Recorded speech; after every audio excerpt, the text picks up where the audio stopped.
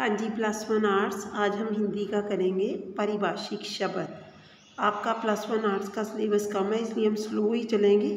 पारिभाषिक शब्द, जिसे हम इंग्लिश से हिंदी में अर्थ करते हैं। ये आपके ए से लेकर आई तक है, परंतु फ़र्स्ट टर्म में हम केवल ए टू सी तक ही करेंगे।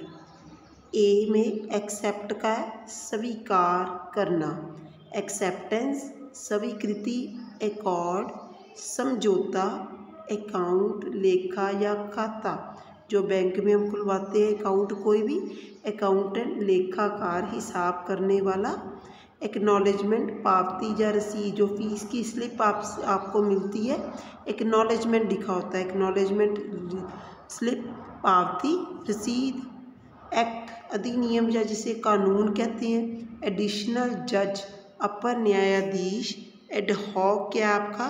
तदर्थ स्मृति। आज आपने यही अच्छी तरह से करनी है। ठीक है, बाकी नेक्स्ट कल भेजूँगी। Thank you